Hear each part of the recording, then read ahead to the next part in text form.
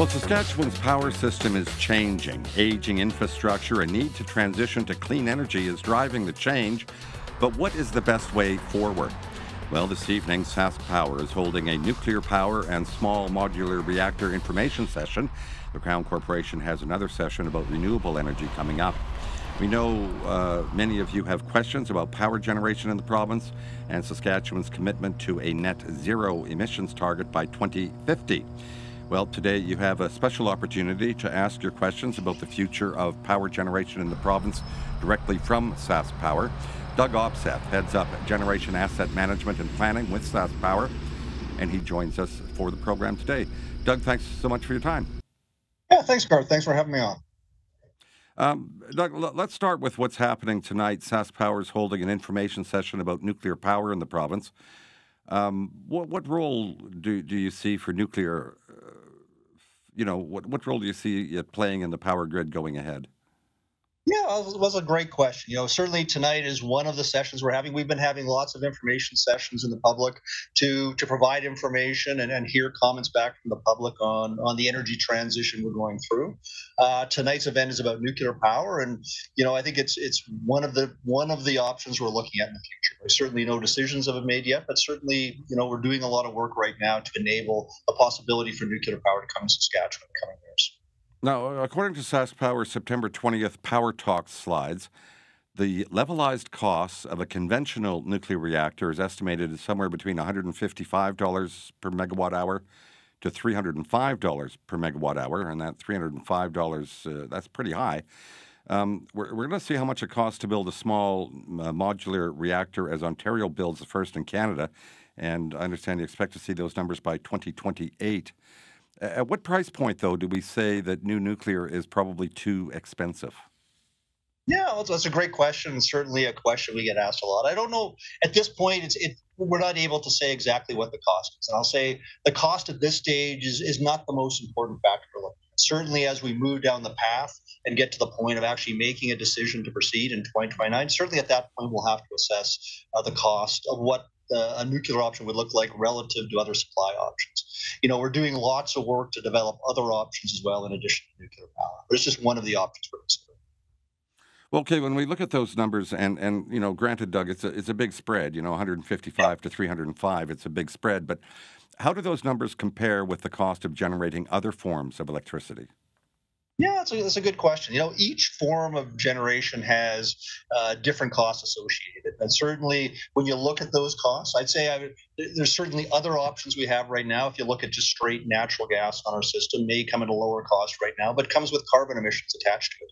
You know, I think the important thing is when we get to 2029 or in the future, where we're looking at non-emitting baseload supply options, I think they're all relatively in the same uh, range of prices. Those would be things like carbon capture on natural gas, you know, new hydroelectric development, and nuclear power would be in in, in the, relatively the same range. And a lot of the work we're doing right now is to try to advance these these options to the point where we could make a decision whether to proceed. Okay, folks, uh, our guest today is Doug Opseth from Sask Power. He's here to answer any questions you have about uh, the plans Sask Power has to transition to net zero by 2050 or perhaps even earlier. Uh, lots of things on the table, lots of possibilities here, and I'm sure many of you have questions about Sask Power's plans. Doug, let's bring our first caller into the conversation. Kathy's sure. in Regina. Hi, Kathy. Well, hello. So this might be just a little bit of a broader question first, but can tailor the conversation following here. Doug, I would like to give you, I would like you to give me some optimism about why I sh- shouldn't be so horribly suspicious about the minds that are directing this. And where I come from first is these are senior engineers and engineering field people that are recommending that these are best ways to go. And I really get the sense that there's not much younger leadership under you folks that have the courage to stand up and say there are other alternatives. There's a better breadth that we can working on, and you folks are dealing with old school stuff. That's a big problem with our province dealing with old school always. What, what are you referring to, Kathy? Specifically, what are you, so are you referring to? Nuclear? Apartment and the age of them. Yeah. Okay. Uh, all right, Doug. Do you want to okay. weigh in on yeah, that? Like, well, maybe I'll maybe I'll just give an analogy to the planning we're looking at right now. I think you know we haven't made decisions on on which path we're on right now. You know, there's a lot of options being considered as we move out to 2050, and and maybe if I can use an analogy for a second, it's like you're planning a long vacation with your family. So if I'm planning a vacation includes my my sister's family and my parents and others. We know where we are today. We're here in Regina, and maybe next year we want to go on a trip to to California, for say, say for example. And there's different ways of getting there. You can take a plane, you can take a train, you can drive your car, and each one has its pros and cons. You know, a plane might be faster, uh, but cost more. A car might take longer and let you stop off and visit relatives on the way. And the work you do before you make the decision to proceed on that path is to engage engage with your family members to pick that path. And I think that's the work we're doing right now. You know, we're we're out in the public. There's lots of different pathways to get to the future. You know, where we are right now is we're primarily a fossil fuel utility with a commitment to provide safe, reliable, and cost effective power for our customers. We know where we want to be in 2050 is we want to be a utility that is, you know, net zero or zero emissions on the grid that still provides safe, reliable, cost effective power for our customers and that has uh, still has that commitment to provide safe, reliable, and cost effective power for our customers and is serving a, a higher load as well. And the work we're doing right now is to go and engage with the public to get the public's view on which path should we go on because unfortunately there is no perfect path to go forward. Uh, and so we need to get and want to get the public's input on what things are important. Some customers view cost is the most important thing. Some view, you know, getting our emissions down as quickly as the most important thing. And so certainly those kind of conversations we're having will be factored into our decision making. Yeah, but so, uh, to, to, Kathy's point, though, Doug, if I if I may, uh, Kathy sure. wants to know who's who's going to make the decision. Um, know, do, do, yeah, do, I, do, you have do you have names? Do you have uh, positions that, uh, that that will ultimately decide? Yeah, I don't know if there's one person who will make this decision. I think certainly at at SAS Power, our job right now is to come up with different options to facilitate different pathways into the future, so that we do have options. You know, one of the challenges we have as we go into the future is there's not a lot of base load, non-emitting supply options available to us. So we need to do the work now to develop them. So ultimately, the decision uh, will be made by in combination. We will provide information, and we'll, we'll get information from the public and, and certainly feedback from the government before we make any decisions. So there's a lot of input coming in. So there isn't one person making these decisions. It's it's a combination of getting information from a bunch of different sources. You know, learning what's going in other jurisdictions to help inform all these decisions. Well, how much of that decision is, is going to be political in nature? How much of that is going to be made by government and, and sort of uh, SaskPower will be told what to do? Yeah, I don't know. I, I, think our job as, as a crown corporation certainly to provide information to the government and so they can make an informed decision on which pathway we go down. But I think informing our recommendations and our information we provide will be feedback from the public on this. Well, uh, uh, Doug, let's let's just uh, take a, a, a, step back and look at the big picture for sure. a few minutes. Just just what technologies are being considered to achieve yeah, like, that that goal of net zero by 2050?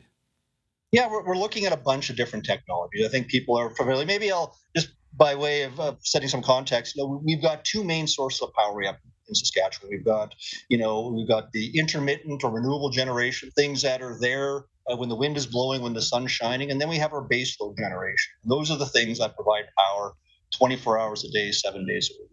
And we need both of these supplies to help power us into the future. And certainly, you know, we're looking at wind power. We've got lots of wind we're deploying on our system.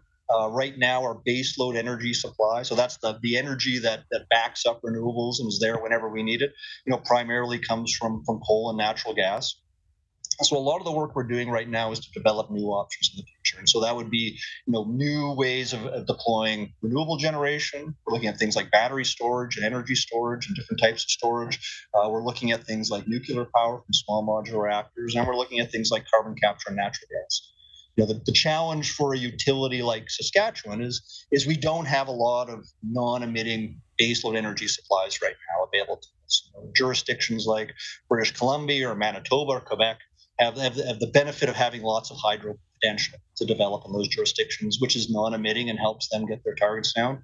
But places like Saskatchewan, Alberta, you know, we've relied historically on things like fossil fuels. We relied on the coal we've had, and we relied on natural gas to, to develop the problems to where it is today. And the work we need to do now is to develop these new new supply options. All right, folks, if you're just joining us, or if you have just joined us, uh, we're talking about uh, what Sask Power is considering to transition to a net zero power grid in Saskatchewan by 2050. There are a number of things uh, on the table, and we'd love to hear from you today, folks. Uh, what thoughts do you have on how Saskatchewan can transition from relying primarily on, on natural gas and coal to other forms of non emitting electricity generation? And uh, one of the options, of course, that is being explored are small modular nuclear reactors, among other things. Uh, Doug, before before I forget, uh, you, you, mentioned uh, earlier on uh, while while you were talking about uh, potential of hydro. Um, does, does Saskatchewan have any hydro potential left? Yeah, like by virtue of Saskatchewan, I think I, you know, I've grew up and I live in Saskatchewan. I know it's a relatively flat province, so you know, we've developed a lot of the hydro potential we have here in Saskatchewan. You know, we are considering some additional hydro facilities in Saskatchewan, but but the reality is, for a place like Saskatchewan, hydro will never replace all of the baseload coal and natural gas we're requiring. So it certainly it may play a part, but we just don't have the benefit of that you know, and coupled with that too, there's some of the hydro sites that we may that would potentially be developed in Saskatchewan are in incredibly environmentally sensitive areas in northern Saskatchewan, where you know we may not even get approval to construct facilities up there, even if we wanted to. So hydro will play a part, but it won't be the full solution for for Sask Power making that transition. I'm not sure if you know off the top of your head, but uh, how, how, much, uh, what percentage of our of our current baseload comes from our two um, major hydro projects?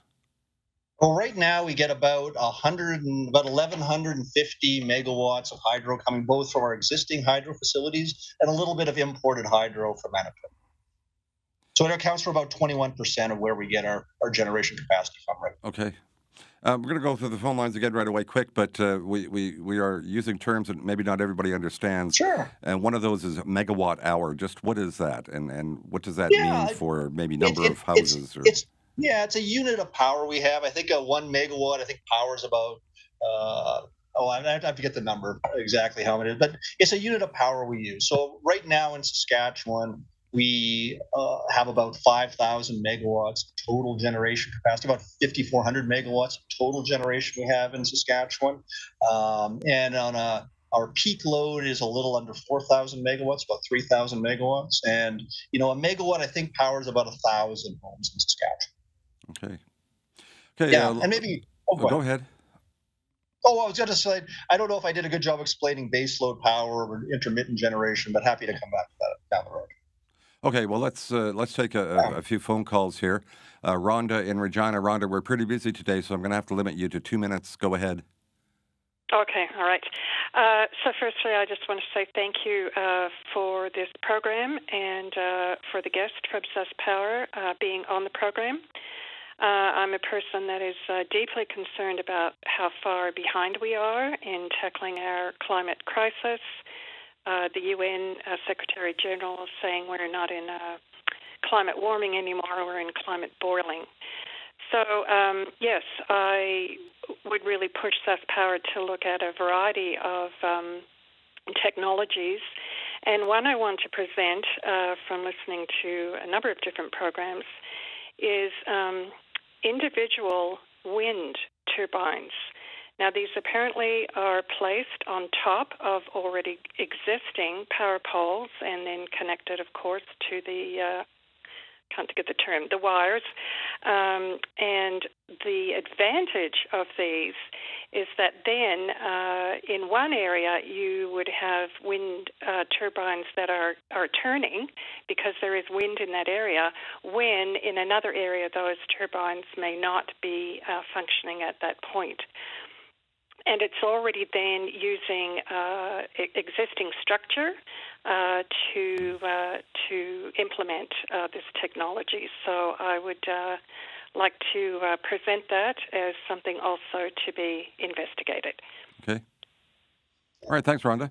Um, Doug, uh, the, the, the technology Rhonda's talking about is in use, uh, I think, in some European countries. But um, what do we know about the efficiency of a small wind generator versus the, the larger commercial wind generators? Yeah. So certainly, you know, wind power is a huge part of our plans to get to net zero. You know, we have plans to add 3,000, up, up to 3,000 megawatts of wind by 2035. You know, when you look at wind power generation, certainly there are technologies that generate on a smaller scale. You know, what we just discussed.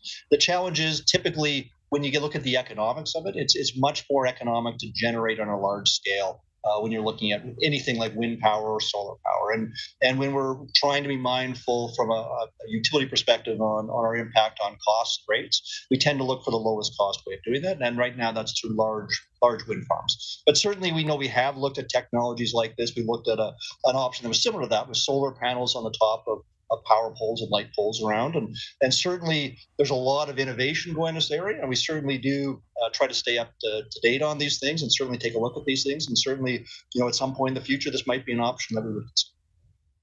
Okay, uh, we're going to take a news break here in a few moments. We're going to take a call first. It'll be from Richard, west of Moose Jaw. Hi, Richard.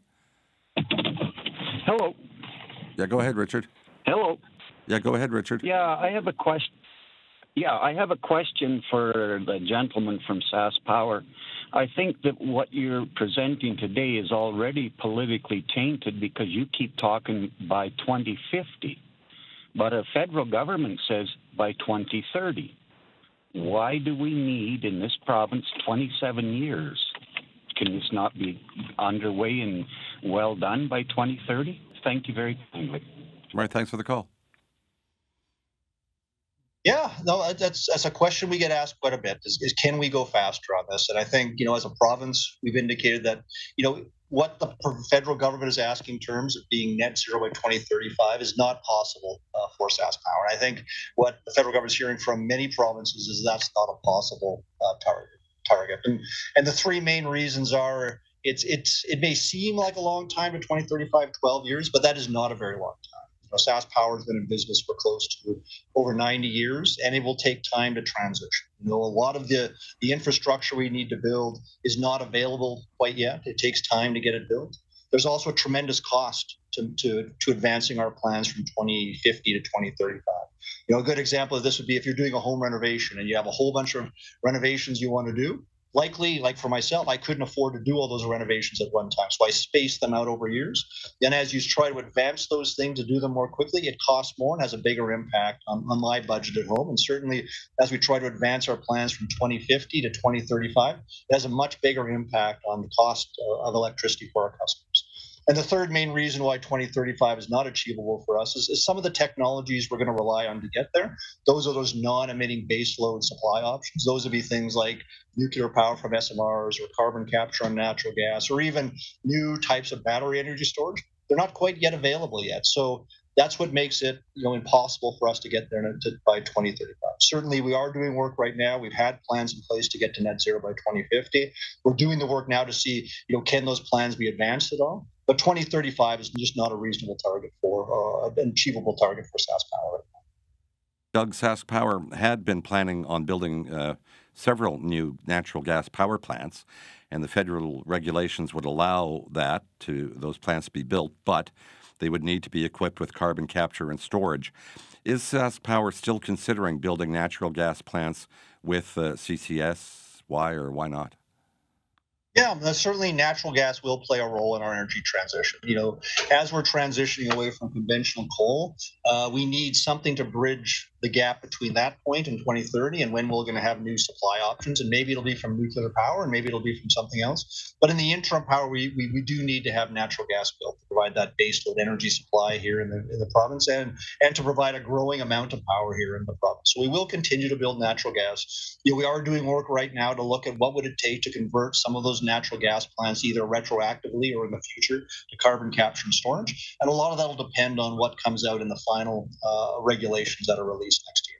Well, wouldn't it make sense to include carbon capture and storage in a new build? Like, yeah, well, right you now kind of solve that before you go ahead and build? I guess part of the challenge is some of our plants, and our most recent plant, our Aspen Power Station that we're looking at constructing up near Lanigan, it's already in the planning and engineering stage. And and for things like carbon capture storage, just like for things like nuclear power, there still is work that needs to get done to get that technology to the place where we could make a decision to deploy it. So uh, we'll need to continue to build natural gas. The work we're doing right now is to say how can we advance that technology to a point where we could effectively deploy it. You know, right now we don't have a good handle on exactly what the cost cost would be for deploying it. So we need to do a bunch more work before we're willing to make that.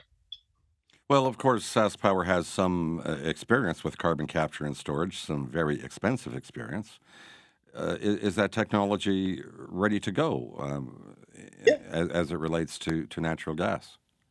Well, I think right now we have lots of confidence. So certainly we we operate the world's first carbon capture and storage facility on a large scale at our Boundary Dam Unit 3 facility. And, and there's a lot of learnings we got as we developed that project and have it running really well right now. So certainly some of those learnings could be translated to a natural gas facility, but a natural gas facility has a lot of different has enough differences that we need to take a look at it before we're willing to to to build it and make a commitment to it. But I will say, you know, there are a lot of jurisdictions in Canada, uh, including in Alberta and, elsewhere, that are looking at that same technology, and, and we continue to work closely with them to advance that technology to a point where we would be able to make a decision. Okay, before we go back to the phone lines, uh, we got a news release yesterday about a study exploring the potential for carbon capture and storage hubs anchored by minerals and power production. Uh, can, can you help us make sense of what all that means, Doug? Yeah, like certainly. whenever you have a carbon capture and storage facility, one of the questions is, what are you going to do with the CO two? Um, and so right now with our Boundary Dam Unit 3 facility, we, we sell the CO2 for enhanced oil recovery. We also have the option of injecting it underground into a long-term storage facility. But just like SAS Power needs to bring our emissions down, what we're seeing is a lot of industrial processes that rely on natural gas. Those would be things like some of the potash operations and things like the refinery here in Regina. They also emit CO2 by burning natural gas. Um, and so they're looking at how do they capture their their CO2, and then what do they do with it? And so one of the things that's being contemplated is the ability to set up, you know, a CO2 potentially CO2 pipeline and a hub that would allow businesses and maybe a Sask Power as well to put all of our CO2 into a common pipeline uh, for either sale to somebody or maybe for long-term storage. I think there's just a lot of efficiencies to be gained by everybody working together on that than, than every uh, company or utility doing it on their own. Okay, let's go back to the phone lines now. They are full. We'll start with Jim in Saskatoon. Hi, Jim. Hi there. Yeah, go uh, ahead. I've got. Uh, uh, can you hear me? Yes, we hear you fine. Go ahead, Jim. Okay. Uh, back in the 1960s, there was a, a report done for Saskatchewan Power that identified 15 possible sites in Saskatchewan for hydroelectric power. And so far, only three of those have been developed. I just wondered if there's any plans to develop the other 12 sites. Yeah, no, hydro is certainly something we're, we're continue to take a look at. You know, we, we've looked at a lot of hydro facilities potential hydro facilities in the province. And you know, when we've looked at in the past, sometimes they haven't proven to be economic, or when you do more engineering on them, they just haven't proved to be feasible. But the work we're doing now, as we're looking at at this energy transition, we're really looking at a lot of those sites to see if there's potential there. So certainly there are a couple that have potential, but likely there's not enough. I might say that certainly there's not enough hydro potential in Saskatchewan to replace all of our retiring coal and natural gas and serve future load future. But but certainly, just like with I guess we are looking at all technologies right now for this energy transition. You know, we haven't made final decisions on things, and certainly things like hydro, battery storage. We're we're investigating all of these things to find the best path forward for Sask Power on the province. When you look at those hydro projects, what are you looking at, uh, Doug? Are you looking at like you know uh, big uh, facilities like we see at, at say uh, uh, the Gardiner Dam, or are you looking at, at flow of stream generation? What are you looking at? I think we're looking at a combination of them. You know, certainly there's at least one site that has the potential to be a larger hydro facility, a couple of hundred megawatts possibly. But we're also looking at lots of smaller sites. You know, the reality is we have many more smaller sites, which would be more what you would term a, a run of river facility, where we're not really ponding, we're not really storing any water behind it. More or less, the water just flows through it and turns the turbine when it's available. So we're looking at a combination of those sites um, in Saskatchewan. A lot of them happen to be in northern Saskatchewan, uh, but we are looking at some in southern Saskatchewan as well. Okay, back to the phone lines. We'll go to uh, north of Nipawin where Paul Emile is on the line. Hi, Paul Emile. Hi, Garth. Good, good afternoon. First, a, a comment about uh, the captured carbon being used uh, for fracking to bring up more carbon. I, I just find that bizarre. Uh, my a couple questions. One of them has been alluded to with the 50 year or the uh, 2050. I think that's a far away number that makes it so that the government is a bit complacent about oh well we don't have to get too excited uh, uh, because that gives us a lot of time. I, I can't see how even that target is going to be met because I don't see a whole lot of, of uh, decisions being made or attempted to be made. Uh, it, it's a slow process. Uh, my, another question is related to uh, nuclear energy. Uh, there are towns in uh, in Europe where uh, there are uh, countries in Europe where they have mines underground with restaurants and whatnot, and in the, some iron mines. And uh, it, would it be possible to put a nuclear facility underground where the where the uranium is, and all that's coming out of the ground are wires, and so there's no movement of yellow cake and of all the other toxic ingredients to making nuclear power. Is, is that possible? Um, well, I'll, I'll, tackle a couple of questions in there. You know, the, the challenge around getting to to 2050 or trying to accelerate that. I think I spoke a little bit about that earlier, but there's a, a big logistical challenge of, of, advancing those things. We've got you know, roughly 63% of our generation capacity right now comes from, from fossil fuels, and there's not a, a, clear replacement of what we would replace that with in the near term. So that's a lot of the work we're doing right now. You know, as with regards to the question about you know constructing nuclear powers uh, facilities underground. You know, I think anything is technically feasible. I think it, it, would be a challenge economically. You know, we need to have cooling water. We need to have access to employees to work there and things like that. And likely that would be uh, so significantly cost prohibitive it likely wouldn't be an option. Okay. Paul Emile, thanks for the call and thanks for the thought. Um, just before we move on here, we have an email from Joan who asks, why is SaskPower looking at SMRs? Why not use existing technology? CANDU reactors, a Canadian technology, has proven useful and reliable for uh, the last 60 years in Ontario. So, uh, why not look at a, a proven technology like a CANDU reactor? Yeah, excellent question. You know, you know when we say I'll say nuclear power has been looked at in the province for for a long time, and and you know it wasn't that long ago that there was there was looking or there was talk about building maybe large reactors here in Saskatchewan. And the challenge with the large reactors, whether it's a CANDU reactor or other kinds of reactors, is they're just simply too large for for SAS power at this time. You know, our largest facility we have right now is about 350 megawatts, and most large nuclear power plants are double, triple, or four times that size. And for a grid like Saskatchewan, they're simply too large for us at this point. And so that was kind of why, you know, in the past, SAS Power hasn't looked at nuclear power from those large reactors. You know, what's changed and why we're looking at SMRs is that, you know, it's a new technology based on existing technologies.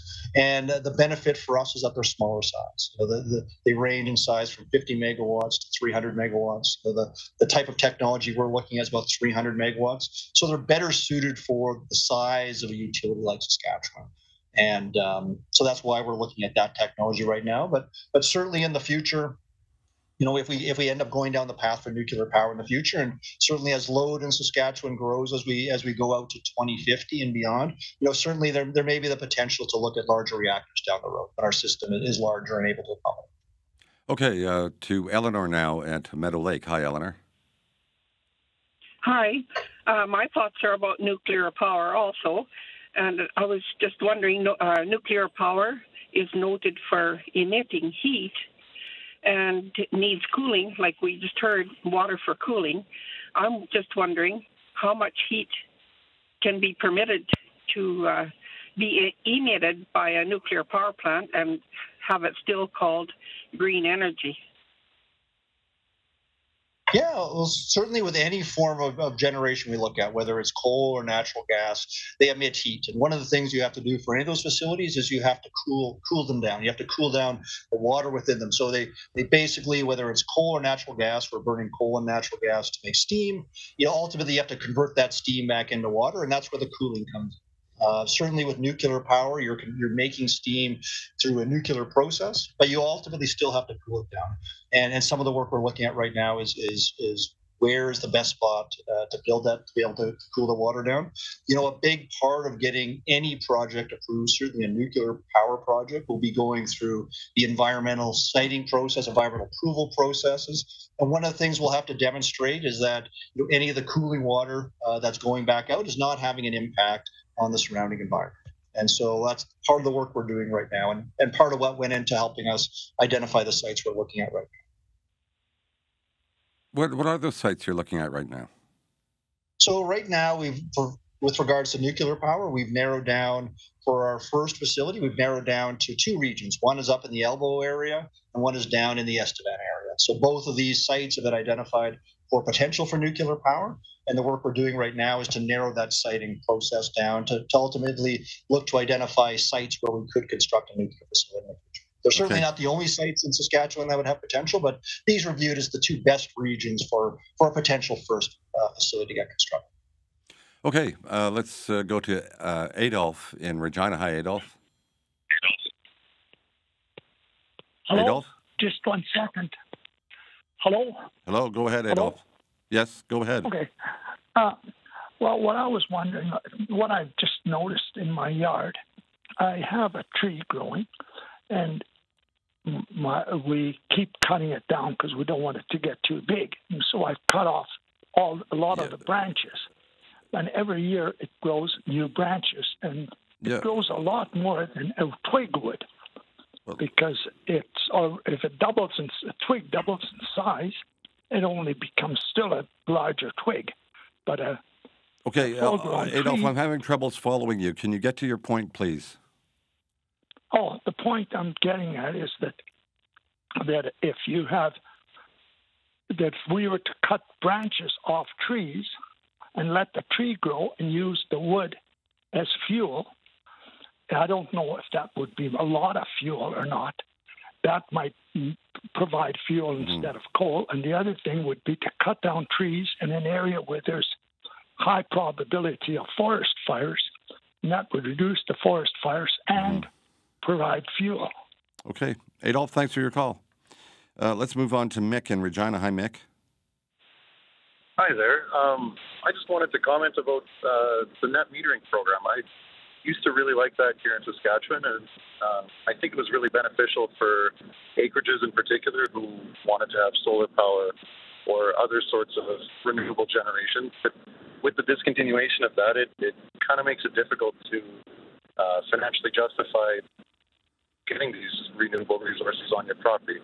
I look to the west in Alberta, and uh, when I drive to see family out there, I notice that on many of the small farms or large farms, there's there's solar arrays and there's wind power all throughout there, um, because the utility pays them a little bit for their solar panels or the energy that they can produce, and so the the landowner gets a little bit of money for doing that, but they also get free energy, and it seems to work with uh, within the, the the climate action plan.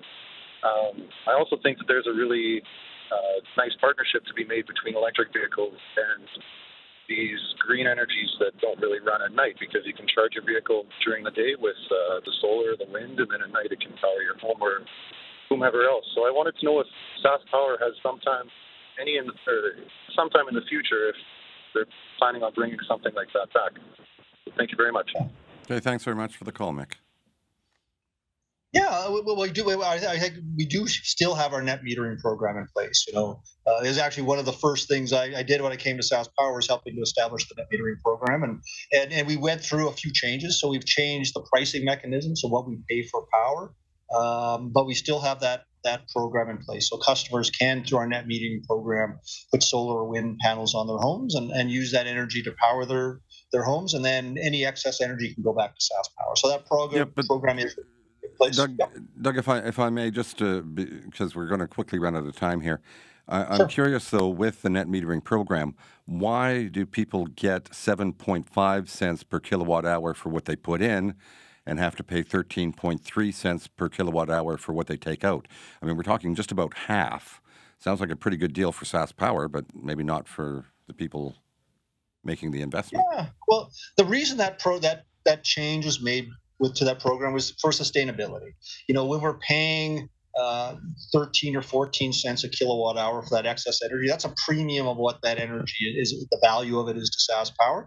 And that premium is paid by the ratepayers in Saskatchewan. So, in order to get, continue to keep that program sustainable and, and have no impact on, on other customers in Saskatchewan, we revised the, the, the program to the current rate, which is uh, appropriate for what that energy is.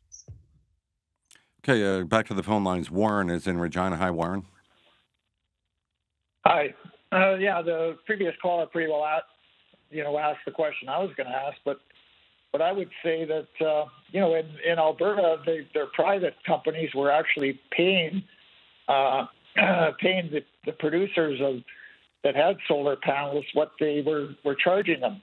So I I don't understand because when you change that to seven cents, you pretty well kill the solar solar uh, panel industry in this province for putting on onto uh, onto uh, commercial buildings and and especially residential buildings, and and uh, like the previous caller was talking about with with the, all the electric cars that are coming in, there's going to be a lot more batteries out there where that power can be stored even in residential places where that power can be used by the homeowner at night. So um, as far as I can see, it's uh, what I'm guessing, or I shouldn't say I'm guessing. It looks like it's a political move to keep natural gas and the oil industry going in this province. Okay, Warren, thanks for the that, thoughts. Thanks for the comment. Um, Doug, there, you know, just just just to uh, to Warren's last point, um, that that change that SaskPower made that, that we just spoke about, um, we've we've had programs on this where it basically drove a nail into the uh, renewable energy uh, industry in this province. Was that the point? Yeah, no, that was certainly wasn't the point at all, and and certainly uh, it wasn't a decision that was made lightly. I think when we started to look at that program and and the cost it was it was causing to SaskPower. Certainly, I guess we'll say you know we're committed to ensuring we provide cost effective power for all of our customers. And when we started to look at the long term viability and sustainability of that program, that resulted in us having to to change the price to be appropriate to what the value of that energy was, which was closer to that seven cents a kilowatt hour. Uh, basis. You know, we continue to always reassess these programs as we go forward, uh, and it's an unfortunate the, the consequences it had, but certainly it's something that it was not a decision that was made lightly. Does that mean that SaskPower makes about six cents per kilowatt hour? No, I think the reality is when you're when you're generating that power. So when we're generating power, there's other costs that go into it. Certainly not the cost of the meter. Certainly there's there's infrastructure costs for transmission lines and distribution lines and substations as we move that power around. So that's why there's a difference between the value of that energy and what we charge our customers for. So to pay for all those other pieces that are required to make our energy system power. Okay, to Marilyn now in Paradise Hill. Hi, Marilyn. Hi. Uh, my question is, was going to be what the, the two previous callers talked about, but I do have another one. Uh, because BC and Manitoba use more hydro, how come we can't have interprovincial uh, uh, cooperation and use use the green power? Yeah, no, excellent question. Certainly something we think of. We we do import some energy from Manitoba, and we export energy to other jurisdictions as well. You know, there's a lot of hydro potential in BC and Manitoba and Quebec.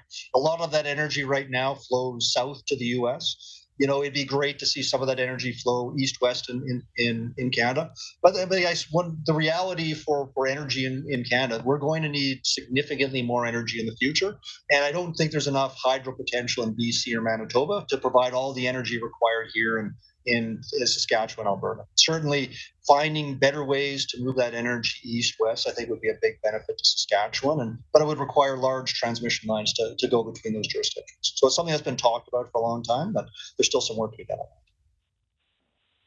Okay, okay. and I I do uh, wonder about that program that was axed or you say sort of reduced because we were looking at it, but then it seemed like it was a political decision and it was, it just seemed to be gone. So we didn't go any farther into invest into looking into it.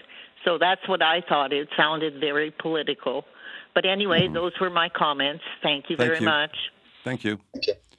Um, what what is uh, Sask Power looking at in, in, in terms of, of battery energy, energy storage or or a form of, of power storage?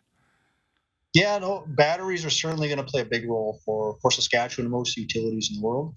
You know, we're in the nearing completion of our first battery storage project just east of Regina, um, and we're looking at more battery storage in the future. You know, there's a lot of benefits to battery energy storage in the province. You know, uh, whenever a wind isn't blowing a sun isn't shining, we can store some of that energy.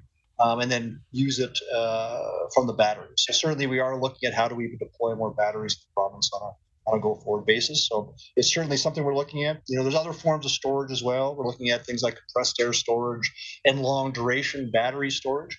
You know, the challenge with the existing batteries is they can store energy, but only for a very short time. And so when we need power, say if the wind isn't blowing or the sun isn't shining for a day or two days or three days, the current bad types of batteries simply can't provide that power over that length of time. But we are looking at new new types of storage. So there's new innovations going on all the time on storage.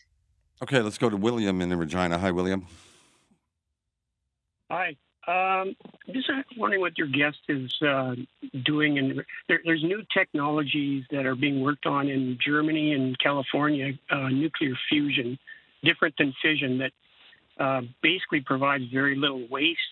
Mm-hmm. It's much safer. It just basically uses heat. And I know it's it's very early stages, but they're you know we're looking at 10, 10 year options and and uh, you know pathways to to forward. So uh, what is Power in looking at this at all? Do we have any kind of research uh, following this? Uh, that's my question to your guest. Okay, thanks, William. Yeah, I think I think what you're referring to is nuclear fusion, and certainly it's a really interesting technology. There's a lot of research going on that, um, but again, I'll say it's it's some time out in the future. And the challenge we have is, as if we're trying to make this energy transition now, we need to look to, to solutions that are deployable in the next 10 or 15 years. But certainly, we continue to monitor any kind of technology, and certainly nuclear fusion is something that we're aware of. We continue to monitor, and, and, and hopefully, it will have a place in Saskatchewan in the in the future. But right now, it's just well, not at yeah. the point where we can actually use it. And, in fairness, uh, it, it's only been within the last six weeks or so that they've actually managed to get more energy out of a fusion reaction yes. than that they had to put into. So yeah. it's it's very There's early lo- stages. Yeah, a lot of innovation going on in the space, and the thing with fusion powers, they always say it's it's it's ten years out every ten years. It's it's, it's, yeah. it's out in the future, but a lot of research is going on in in that area as well as all areas related to to energy and power. Okay, uh, let's hear from Marvin in Carrot River. Hi, Marvin. Hi. I'd be interested in your guest telling uh, the listeners the program that SaskPower has for educating people on conservation of power and not wasting it. Like it seems like it, uh, you know the focus is on more, more, more. Produce more. Mm-hmm. We're going to need more instead of uh, perhaps well maybe we can save some power. Yeah. All right, Marvin. Yeah. Yeah, Doug? certainly energy conservation is something we think about. You know, uh, just like with any other resource, we need to be mindful of how we use our energy and we need to use it wisely. The, the reality is for Saskatchewan is that we are going to need infinitely or significantly more power in the future. You know, we're moving to a future where, where businesses will electrify, where people have electric vehicles, and more things like that. You know, as we transition our way, way we generate electricity to lower emissions, more industries are going to electrify. And so not only Saskatchewan, but the world is going to need significantly more power in the future than we need right now. But it is a very good point. We do need to be mindful of how we how we use our energy now, and we, we need to be uh, use it as, as, smartly as we can. And as okay. we have, I also said, people have questions about that. We have lots of tips on our website at www.saskpower.com. Okay, we're going to take one last caller. It's going to be uh, Michael near Davidson. Hi, Michael. Hey there. Um, I just thought I'd make the comment that uh, it should be no surprise that the Sask Party political ideology is trickling into all facets of our life, and this is now including Sask Power uh, regarding some of the policies regarding the 2035 uh, net zero mandate now being pushed out to 2050. Um, back a few years ago, um, it was all steam full steam ahead for 2035, and now things have changed. And I feel like a lot of that is because uh, the Sask Party is copying Danielle Smith's homework in the UCP in Alberta, and uh, it's just easier for them to throw stones at the feds when it comes to this. Another thing regarding the SMRs uh, is we should follow the money. Uh, Brad Wall sits on the board of NexGen, a uranium developer, so it's no wonder that we're looking at SMRs. Also, uh, North Dakota wind progress has been incredible. How are we so different from them? They're literally 20 minutes across our border. And battery backup and renewables drop in price every single day while nuclear is going up. Why aren't we going full steam ahead with renewables until the SMRs come online? Doesn't Okay. make any sense. Okay, um, uh, Doug, you only have a minute to answer, but please uh, give it your best. Sure. I I think, you know, I think back in 2015, you know, SAS Power made a commitment to reduce our emissions by 50% below 2005 levels. And we've been, for the last number of years, been talking about a plan to get to net zero by 2050. And, and net, net zero 2035 was never on our plans. I think it was, it came out in the last federal election. So certainly we don't believe it's possible to get there. And I think most jurisdictions are, are saying it's not possible to get there. Uh, but we continue to develop options to see how, how quickly we can bring our emissions down. So, but I, I guess maybe in closing, I'll just say, you know, we welcome all these comments. We're looking forward to getting comments back from people. There's lots of opportunities to engage with SaskPower, and, and you can find those at saskpower.com. So we hope to get more input from the public on all of the plans we're looking at. Fair enough. So thank Doug. you for Thank you. Thank you very much for your time, Doug. Doug Opseth heads up Generation Asset Management and Planning at SaskPower.